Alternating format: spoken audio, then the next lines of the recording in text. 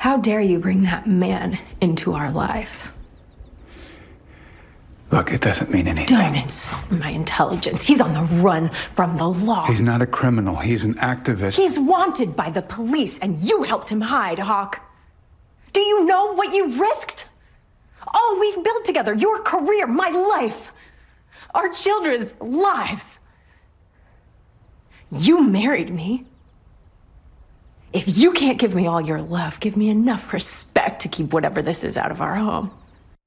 Ooh, juicy. I just want to keep watching. You know, that was a clip from the new Showtime series Fellow Travelers following the lives of five characters over the course of several decades from the Vietnam War protests to the drug fueled disco culture and the AIDS crisis. With us now is one of the stars of the show and from hits like Get Out and Girls, of course. Please welcome the incredibly talented Allison Williams. You know this face right here. Yes, hey, Allison. It's nice to have you Oh, with thank us. you. Thank this you. show has really captivated audiences. People are really gravitating towards it. Why do you think it has such a pull for people? I think sadly there's a lot about this period in history and these themes that aren't as different as we'd like them to be. So I think there is that kind of tragic resonance with, yes, maybe people don't know about the lavender scare during the McCarthy era, Washington, climate. Um, maybe people don't know.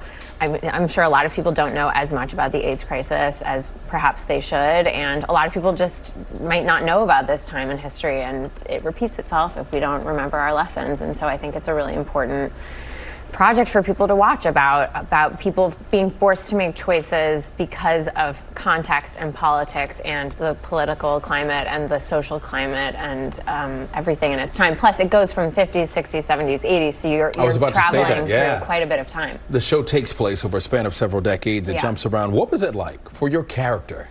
It was really fun. I've mostly played people in one time. Um, the longest period I've gotten to play someone was on Girls, but in this show, to be able to play someone in her 20s, in the 50s, all the way to 60 in the 80s was just an incredible experience. This is a complex character to play Yeah. and over several decades. How do you find that depth and, and what was it like to have to transform in age? Well, the depth was kind of on the page already. The script, immediately when I read it, I just thought this is a, a masterpiece. Ron Nyswaner wrote the most incredible mm-hmm. script, and I was able to read, I think, the first seven episodes and an outline for the eighth. So I knew her whole journey. So her soul was there, and I just had to like bring it to life. And aging that process was amazing. It was a real team effort from, you know, hair, makeup, costume, the incredible experts that worked on this show that we were so lucky to work with, to a dialect coach I worked with who helped me literally pick notes on a scale for each decade because her she was a very enthusiastic smoker. Her age, her voice dropped with age because her vocal cords were a little tired. And so, you know, in the 50s it's more idealistic and you know, you're wearing a corset changes the way you breathe and the way you talk and then that kind of patrician accent of the time that she would have had as a very sophisticated Pennsylvania girl um, whose father was in politics and then, you know, going through time, you know, two packs a day for a couple decades gets you to a certain register that we tried to see hit the by the 80s. there. What is it like for you to see a project to fruition and then to see the viewers really responding to It's it? been great. Honestly, I think of my work as happening in like three different stages. One is the prep, one is the filming, and the, this is the third part where it actually doesn't belong to us anymore. It's very strange. It's kind of vulnerable. away, yeah. We- yes, we've worked really hard to make this thing as good as we can,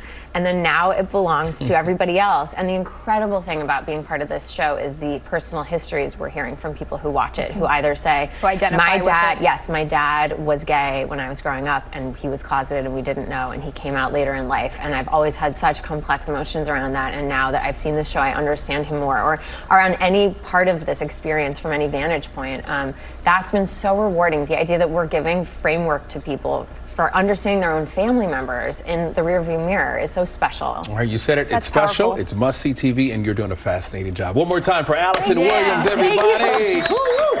Thank you very much. And by the way, new episodes of Fellow Travelers are available Friday on Paramount Plus, and be sure to check out her true crime podcast, Erased. All six episodes are streaming right now, so go out and support her. Well, hey there, GMA fans. Robin Roberts here. Thanks for checking out our YouTube channel. Lots of great stuff here. So go on, click the subscribe button right over right over here to get more of awesome videos and content from GMA every day, anytime. We thank you for watching, and we'll see you in the morning on GMA.